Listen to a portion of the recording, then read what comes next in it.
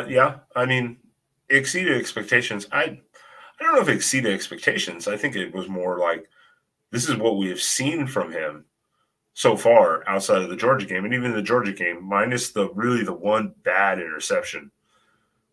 Uh, he wasn't terrible, terrible, but I mean, yeah, since then it's like clicked. I mean, you could say that's the type of defense he's playing and stuff like that, I, I think it's more the coaching staff and him becoming more comfortable together, but also adjusting to what they did wrong in the first game. I definitely think that's been part of it, but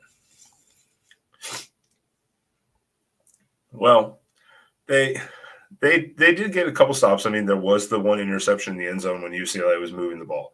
So I, I'll agree that was a I think that was a critical stop, and that kind of deflated UCLA a bit because they were moving the ball. There's we knew they would move the ball, and that's it. It was depending on what defenses would get the stops, and I will say that was definitely a critical stop. We didn't do anything with it, as I recall. I think we had punted, but it stopped UCLA. So at the end of the day, that's all that matters.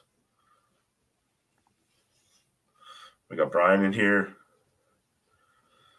Yeah, uh, I mean, Chip has been at UCLA for this is his fifth year, and you've started to see the returns finally coming from him there.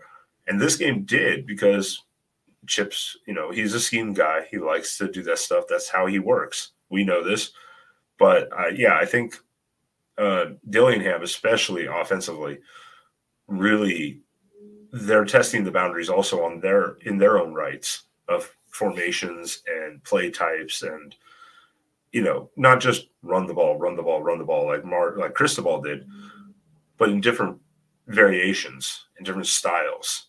And it, I think it is. It's a. Uh, it's keeping people off balance, and I think that's what's really beneficial because a lot of the big plays that Oregon is doing is off of running the ball. If they can't run the ball, a lot of those plays don't happen, maybe. Maybe they do, maybe they don't. But I think running the ball is essential uh, for the Oregon offense, and I think everyone would agree with that.